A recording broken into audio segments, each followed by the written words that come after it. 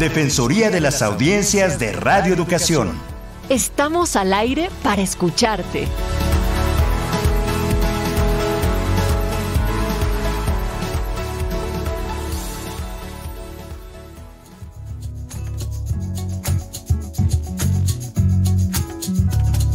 Derecho es de la audiencia, tener también propia voz. La radio es cosa de dos. El diálogo está en su esencia porque oír despierta conciencia y esta busca su expresión. Si en radio televisión la sintonía nos hermana, no esperemos hasta mañana. Los derechos son. ¿Qué tal? Les damos la más cordial bienvenida como cada semana a este su espacio de la Defensoría de las Audiencias de Radio Educación.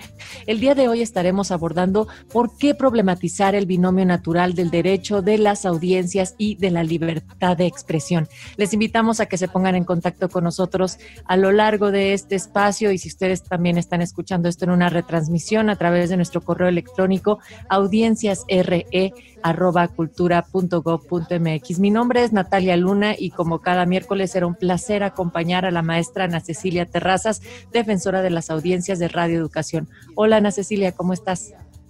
Bien, gracias, muy buenas tardes y también es un placer para mí hablar contigo, con nuestros invitados e invitadas y también escuchar a nuestras audiencias.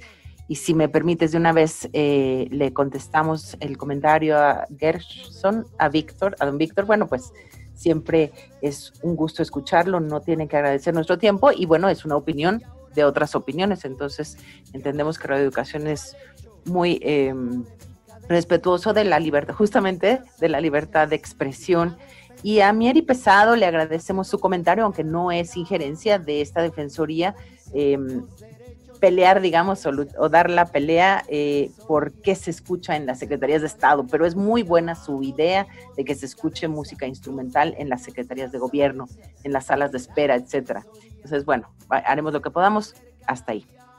Y queremos también aprovechar este espacio para invitarles nuevamente a escuchar, descargar y comentar cada uno de los nueve programas de nuestra serie Introducción a los Derechos de las Audiencias y sus Defensorías en México.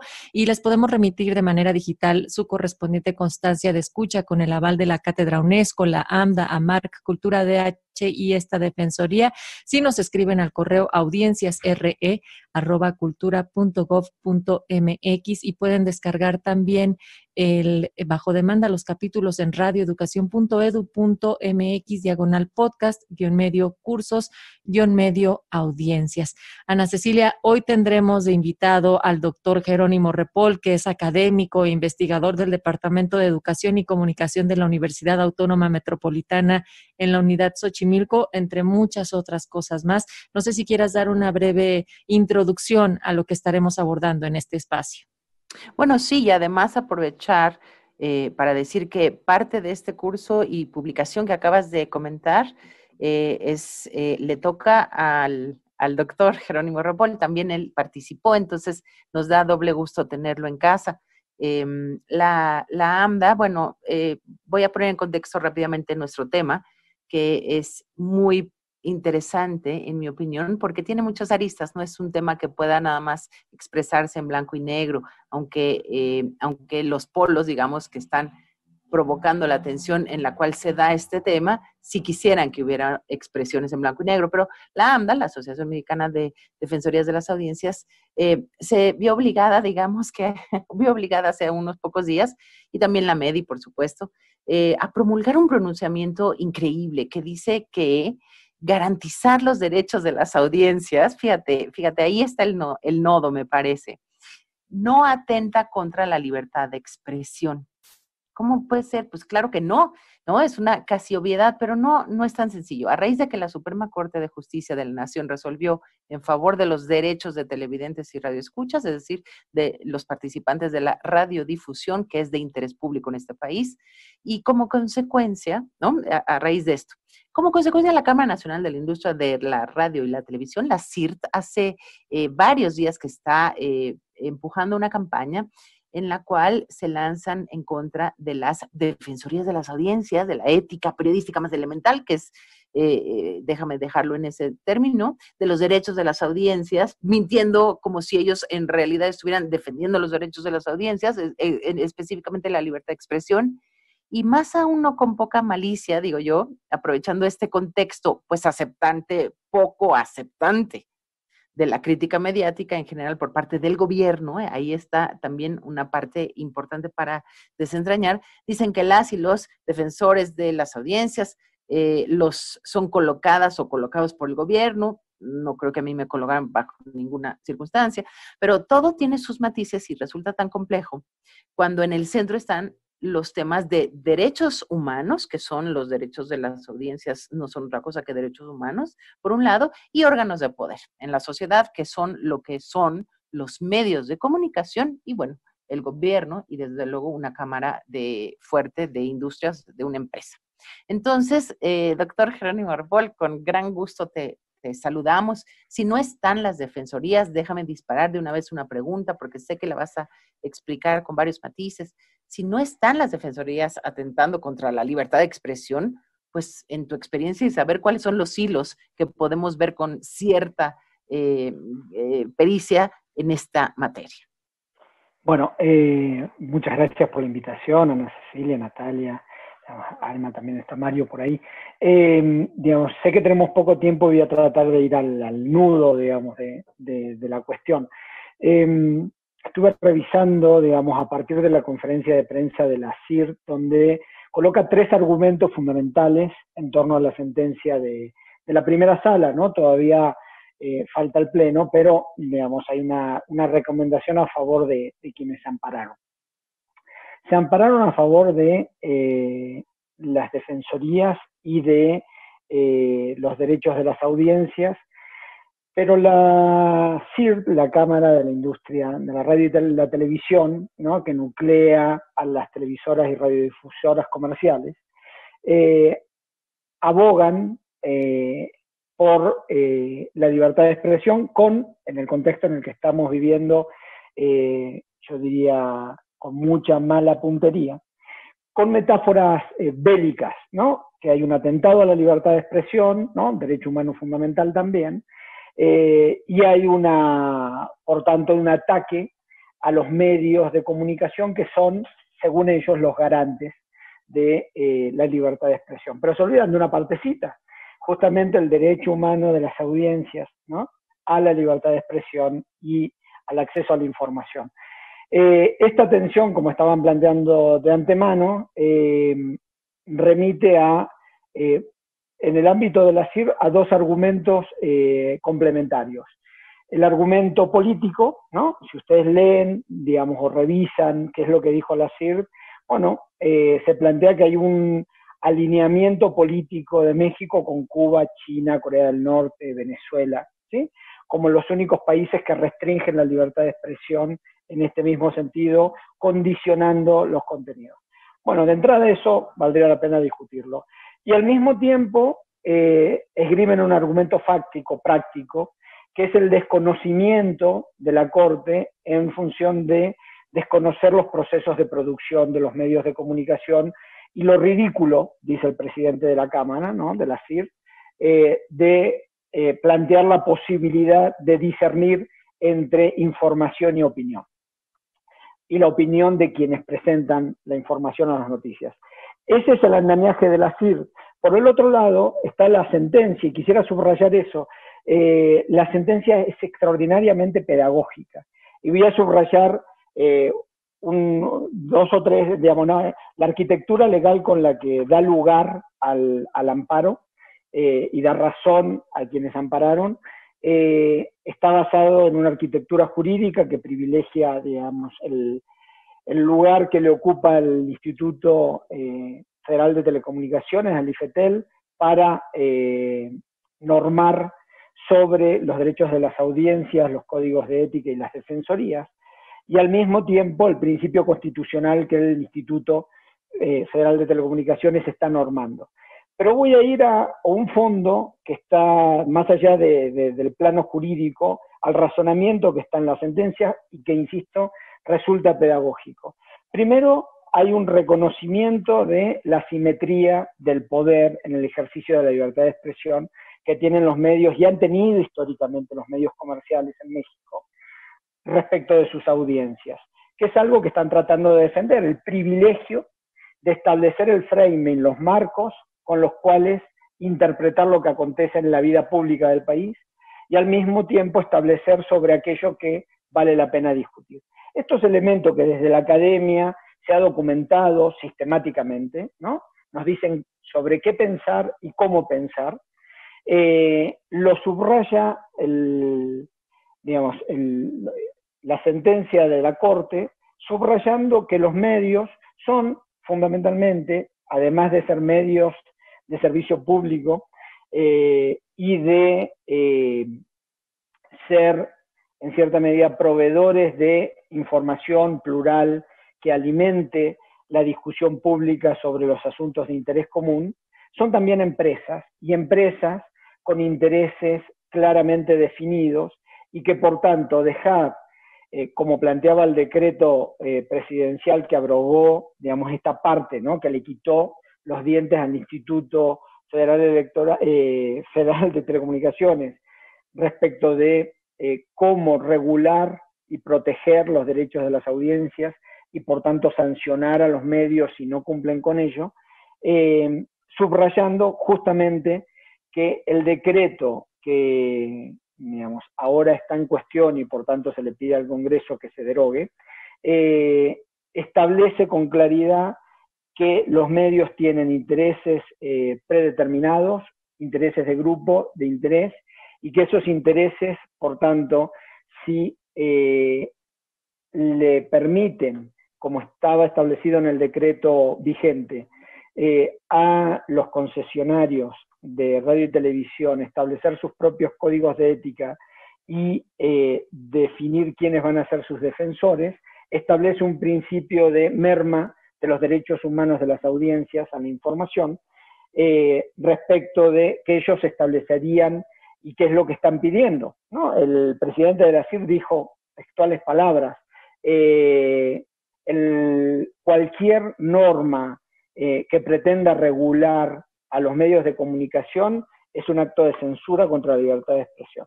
Justamente esto es lo que pedagógicamente la, sentencia documenta y nos dice, bueno, eh, por supuesto que la censura es contraria a la libertad de expresión, pero lo que hacen los medios, favoreciendo determinados intereses por sobre los intereses generales, también atentan contra la libertad de expresión. Y ahí es donde eh, priman los derechos de las audiencias y por tanto el reclamo para que volvamos al paso previo al decreto que era lo que normó el Instituto Federal Electoral con los lineamientos eh, para los derechos de las audiencias y de los usuarios de telecomunicaciones y a partir de ahí, digamos, situar una discusión que, como ustedes planteaban, parece aparentemente eh, poner en, contradicción los derechos de la audiencia con eh, el derecho a la libertad de expresión, cuando en realidad se está protegiendo la libertad de expresión y el derecho a la información de las audiencias en todo momento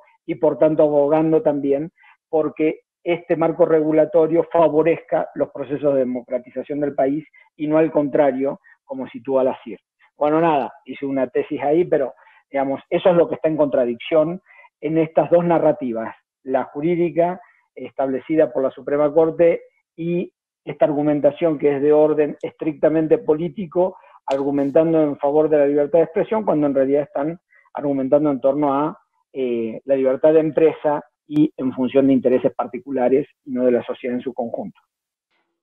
Eh, no sé si Natalia, ¿vas tú o sigo? Discúlpenme, la, la frase de esta pandemia de mi internet se me fue, sigue aplicando para estas condiciones de grabación. Pero sí, sí, doctor Repol, yo estaba preguntando entonces en este contexto que nos explicaba cómo y por qué puede la CIR falsear la ética periodística elemental. Es decir, en esta conferencia decían que había que distinguir entonces que cómo era posible tener que explicar un locutor, en este caso, entre la opinión, la publicidad y la información, derechos de nuestras audiencias que hemos estado repitiendo. Sí, entiendo la pregunta de Natalia. Eh, y la, la, recupero, aunque no, no, terminó de cerrarla por estas fallas de Internet. Eh, Creo que ahí hay un elemento fundamental. Eh, yo subrayaría lo siguiente, ¿por qué le interesa tanto que este, esta separación explícita, evidente, nominal entre información y opinión de quien presenta la información quede explícita durante las emisiones radiofónicas y televisivas? Porque mm, durante mucho tiempo, durante toda su existencia, podríamos decir, la televisión y la radio, al presentar la información, amagaron, ¿no? Eh, o se escudaron en un criterio de presentación objetiva de la información. Y nosotros sabemos que la información se construye y se construye eh, privilegiando determinadas voces sobre otras, ¿no? Eh, estableciendo un punto de vista sobre los demás, y eso hace, eso también incide en el derecho a la información. Saber que lo que nos están presentando no solo es información, sino también la opinión de quien presenta la información. Eso entraña dificultades, por supuesto.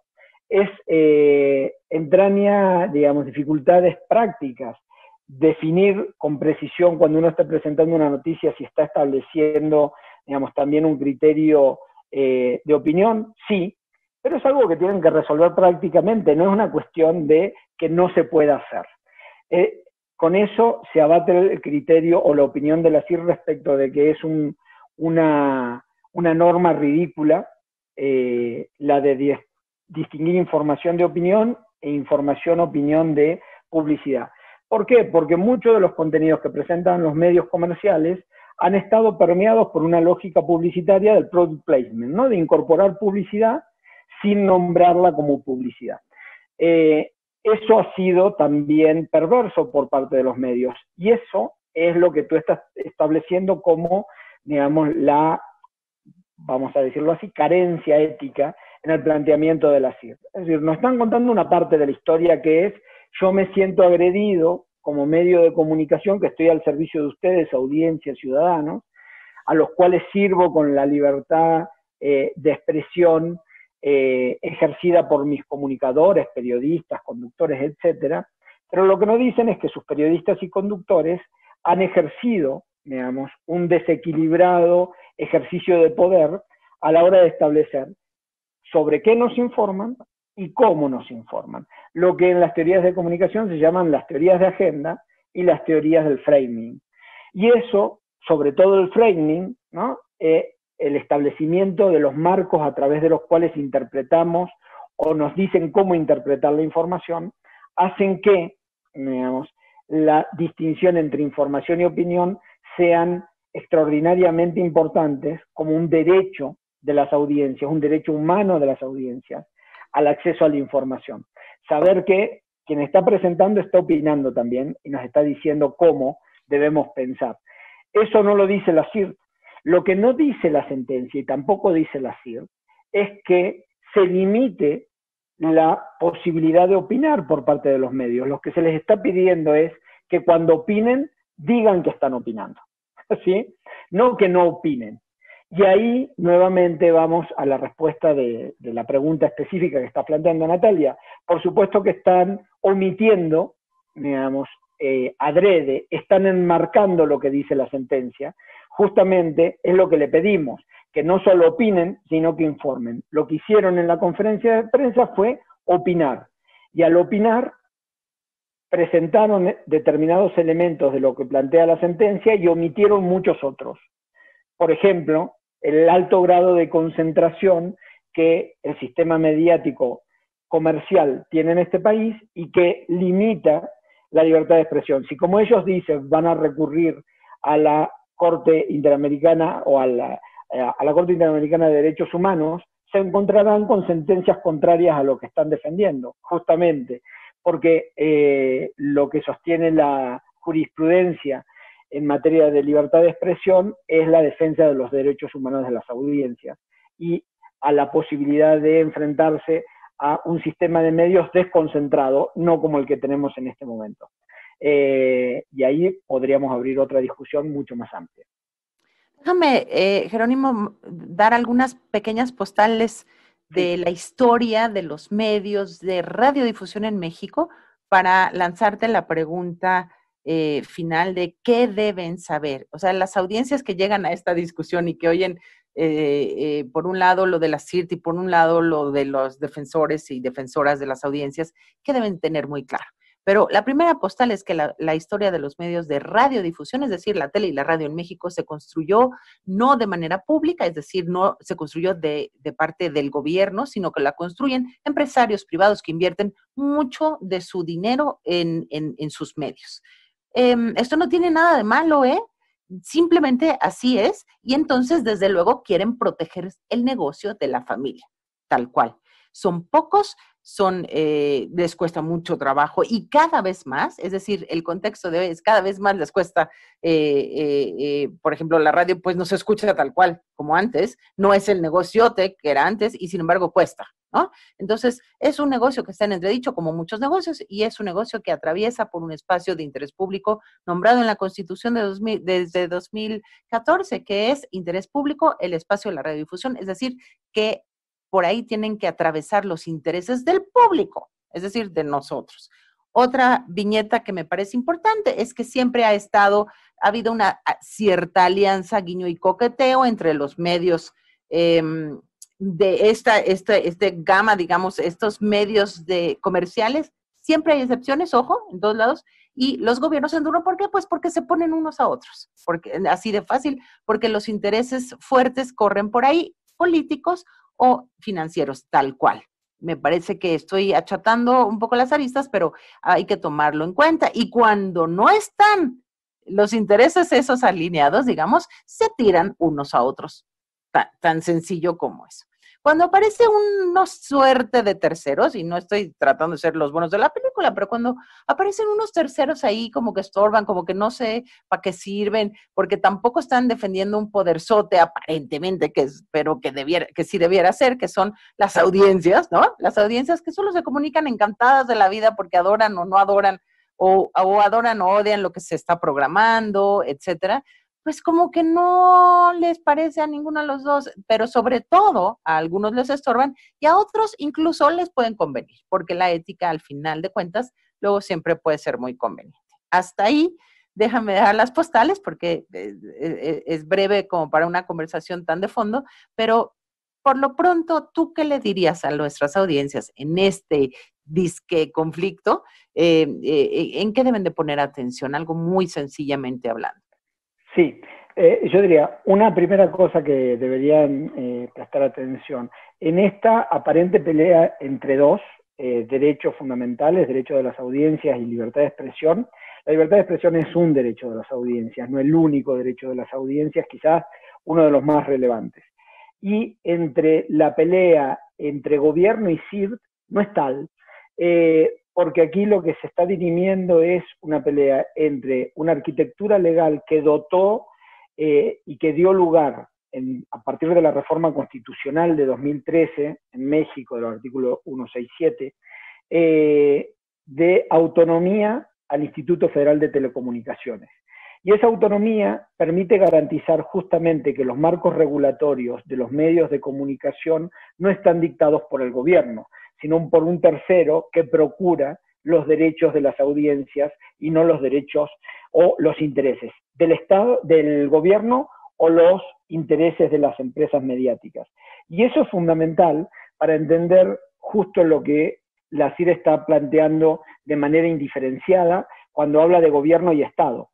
¿no? El Instituto Federal de Telecomunicaciones es un órgano autónomo del Estado mexicano que regula y opera la regulación en torno a la radiodifusión y las telecomunicaciones. Por tanto, no es un órgano gubernamental ni está defendiendo los derechos de un gobierno a la usanza de Cuba, China o Corea del Norte. Justamente eso es lo que se ganó en 2014 y que con el decreto de 2015 se eh, produjo una contrarreforma. Lo que está aconteciendo aquí en este momento es que la Suprema Corte ha decidido a favor de eh, un amparo que protege los derechos de las audiencias, entre los cuales está la libertad de expresión.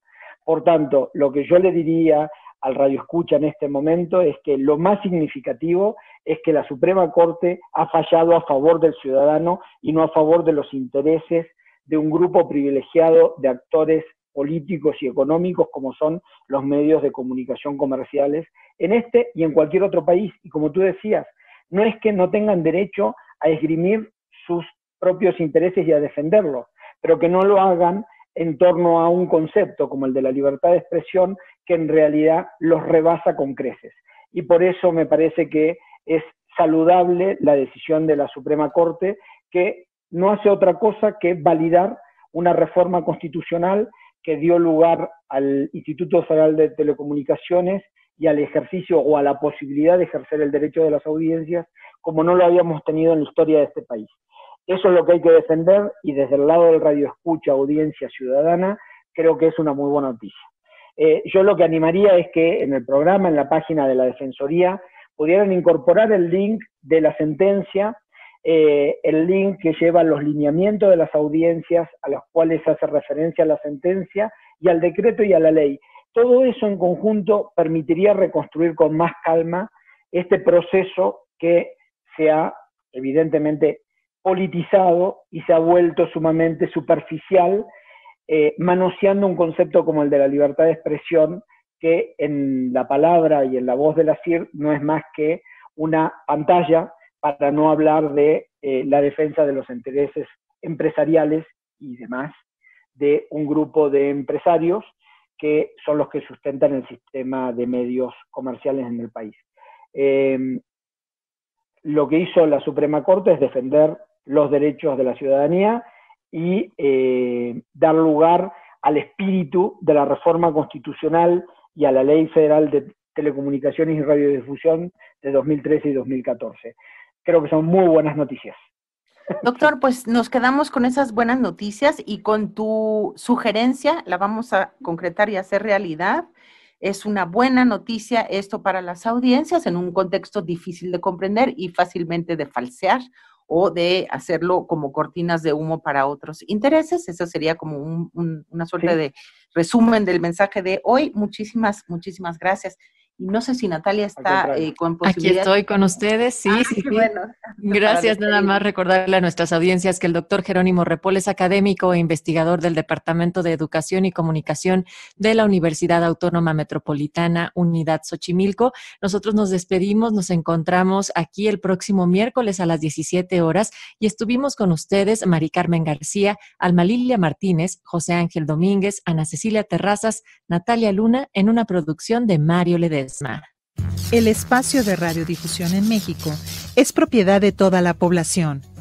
La radio y la televisión difunden contenidos y, por ley, deben respetar los derechos de las audiencias, que son derechos humanos. Pluralidad, igualdad, diversidad ideológica, no discriminación, derecho a la información, libertad de expresión y otros más. Conoce tus derechos como audiencia y hazlos valer. Los derechos son acción y aprovecho esta canción para ponerlos en lista. Primer derecho a la vista, cero discriminación, diversidad e inclusión, claridad, buena señal, acceso a todos igual, adecuados contenidos en horarios definidos y faltan. No vamos motivo de mi cadencia, los derechos de las audiencias y de la Defensoría. Hacerlos valer cada día, motivo de mi cadencia, los derechos de las audiencias y de la Defensoría. Hacerlos valer cada día.